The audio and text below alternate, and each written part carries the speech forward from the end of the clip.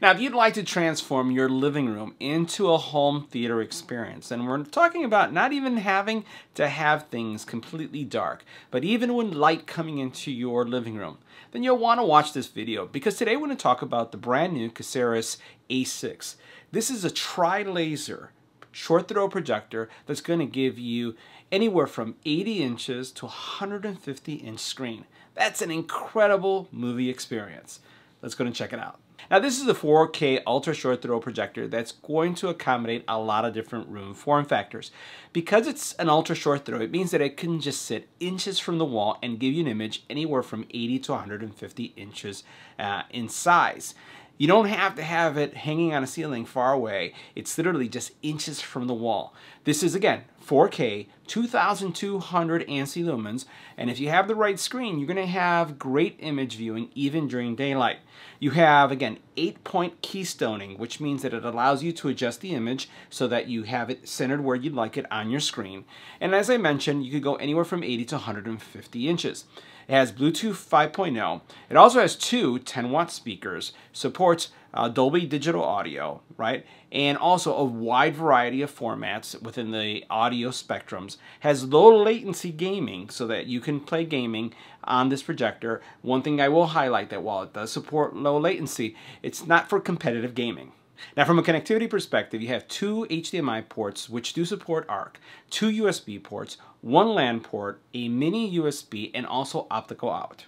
Now before taking a closer look at the Casiris ultra short throw projector, we're going to talk about kind of what our setup is like. Uh, first of all, you can see that we have a very well lit room. So we have ambient light coming through uh, both of our windows, and this actually has one, two, three, four, five, six windows that have some shades, but these are not blackout shades, and you can see the kind of light that's coming through. Uh, we do have an Elite screen um, ambient light rejection screen, right? So this is basically a CLR screen. You can see it's gray, and it's going to help this projector uh, because what it does is it uh, rejects light from left, right, and, and the top. It really does a really uh, good job of amplifying the blacks, bringing in the great experience. So highly recommend that you have an ALR or CLR screen. You'll see that the projector is just placed a couple inches from the wall, and that's what set these projectors apart. Um, while the system does have a fantastic audio platform, uh, we're going to be, uh, or I have been experiencing it both with the built-in speakers, but what we also have is an Enclave, uh, again, their pro version of their surround sound system, which is something that I really love, and you see that on both sides. So uh, let's go ahead and power up this unit, and as we power it up, I just wanted to highlight how fast this thing is, because it is one of the fastest startup projectors that we've had in a quite some time. So I'm just going to press the power button just to give you guys a sense of what the power of the startup process looks like.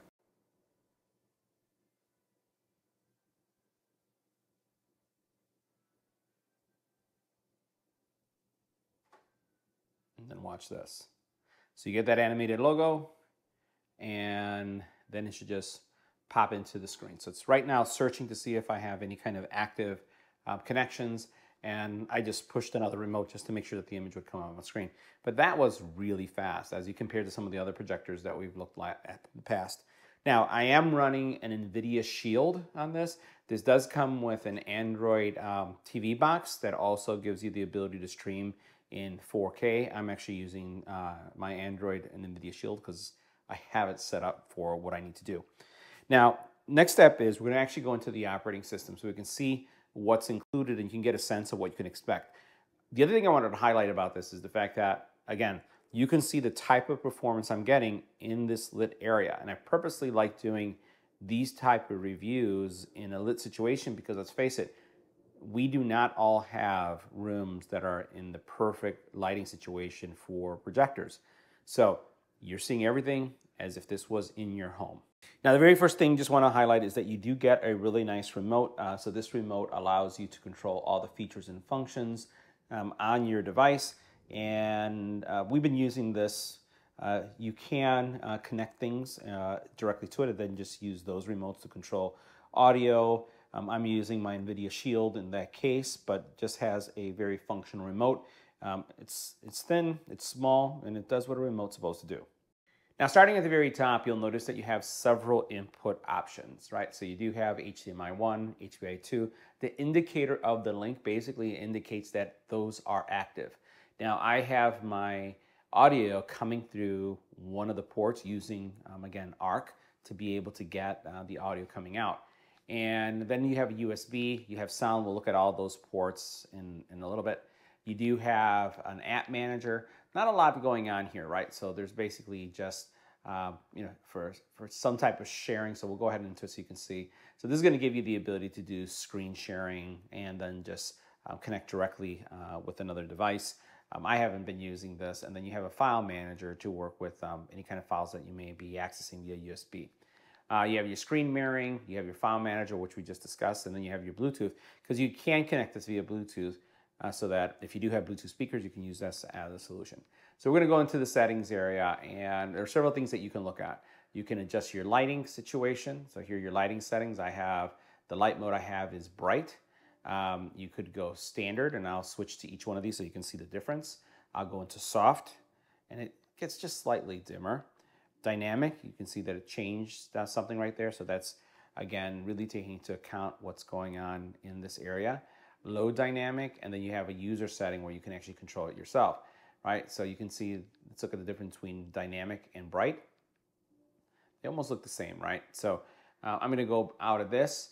We also then have projection mode. For those of you who are curious, you do have front projection, rear projection, front ceiling, and rear ceiling projection.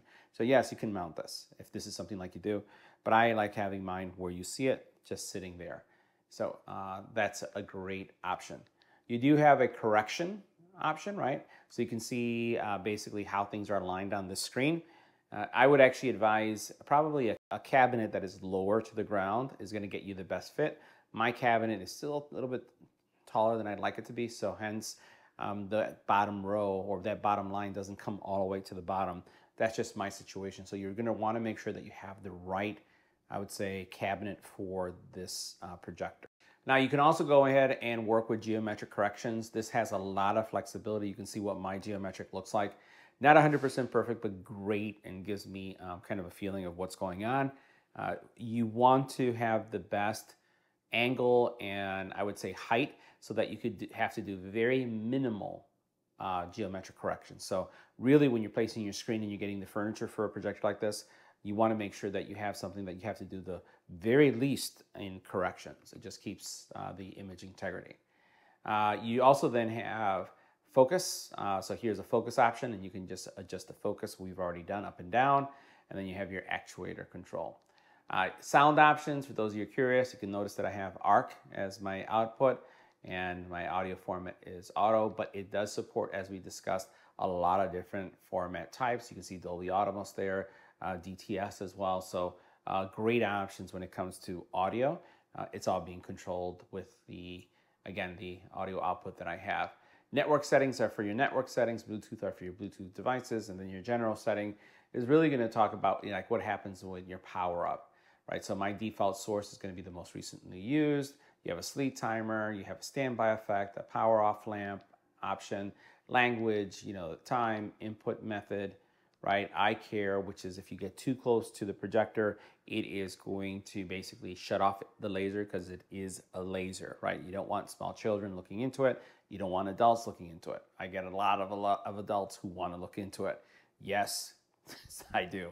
So um, you can turn that on. Um, I typically have it on when I have guests over. I have no small kids. And then you have like the, the ketone, right? That's going on there. Uh, and then you have your about, and you also do wireless firmware updates.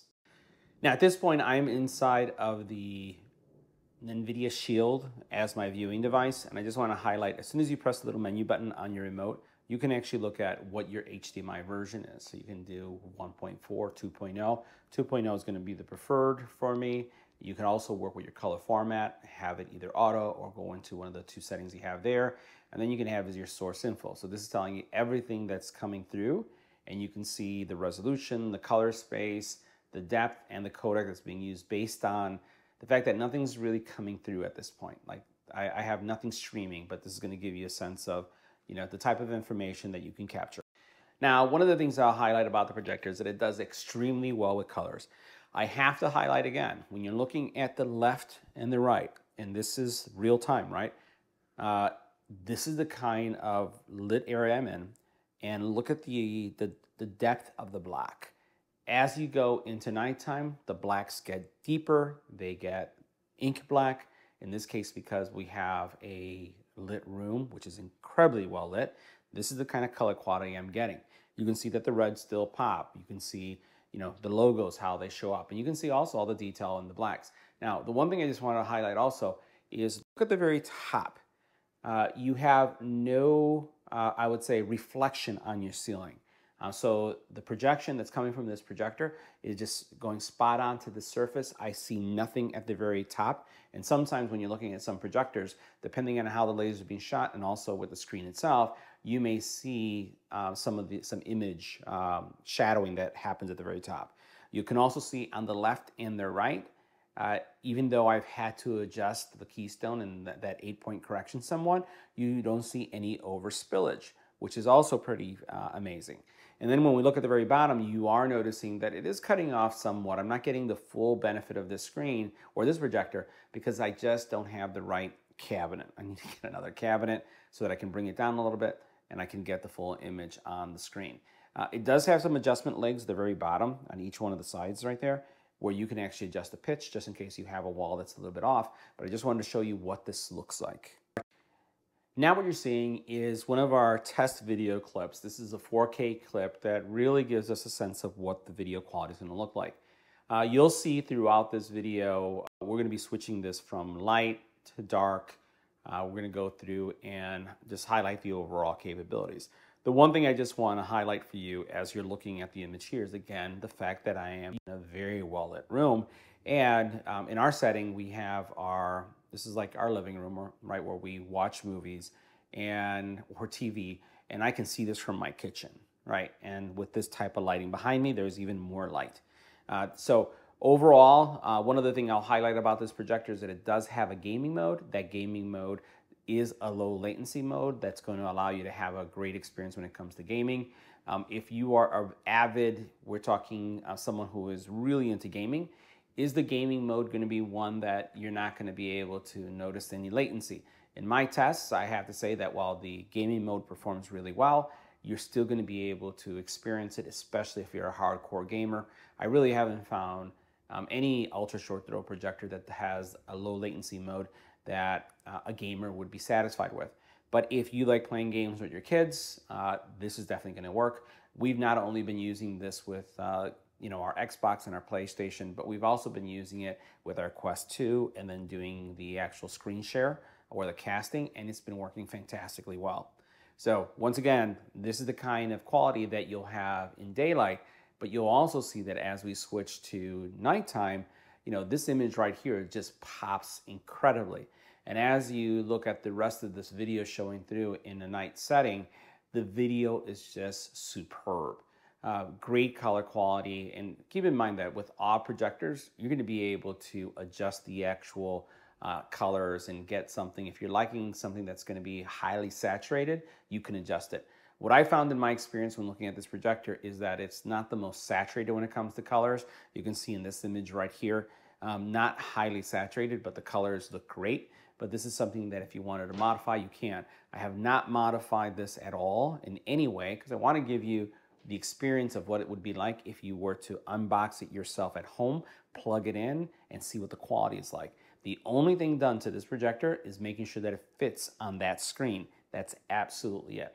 So super duper cool projector, great image quality, great performance. And again, just overall, as we take a look at the footprint, it's super tiny. And remember, the neat thing about this type of technology is that this really allows you to have a projector in any room of your home and have a movie theater experience without having to have the theater. That's the cool part. Now I wanted to show you what an angle shot will look like because that's the other thing that's pretty unique about these projectors, right? So as you're looking at these images, uh, I am in an extreme, extreme angle, right? So uh, the screen is right here and you can see where the uh, actual camera is. And you can see the quality of what we're getting when it comes to the image. Uh, once again, really, really nice in reproducing colors. I'm very, very happy with the overall performance. Now, to give you a sense of where or how far this projector is, I just want to show you with my hand, right? So this is my wall, right? And you can see where this projector is actually resting. It's a, you know, maybe about 12 to 13 inches to get that 123 uh, inch screen that you're getting. Uh, ultra, ultra quiet too. Very, very whisper quiet fan, very low decibels, you're not going to hear it, especially if you're sitting, you know, four to five feet away, three to a couple, let's say three, even three feet away. You're not going to hear it because again, you're going to get stupendous color quality, especially at short, at short distances because of just the fact that this is a tri-laser. Now, for those of you that are curious about the ports in the back, here you can see the uh, optical coming out, which I'm not using because I'm just using ARC, my two HDMI cables, your network connections. You also then have USB uh, and you know, the USB is going to allow you to play anything off of a USB stick uh, and very, very simple implementation in the back. You don't really have to worry about anything else there. The power, you can see that found right there on the bottom. There's really nothing else there to it. Now, one thing we'll highlight is that you do have a USB here on the side. So this is on the left side of the projector, but you can see that again, you have the venting here, super quiet. And this is where you'll find your adjustment legs. There are four, so it allows you to adjust the height in the front or the back, depending on your wall. Now, for those of you who are curious as to what does the light source look like, uh, well, this is what it looks like from the top down. Don't look into the light. Don't look into the light. Well, I'm just messing with you. There's no, you're not going to get anything here, but you can see where the light source can be found right there and how it would project onto the screen. So guys, that wraps up our review of the Casiris A6 Tri-Laser Projector. See you in the next video.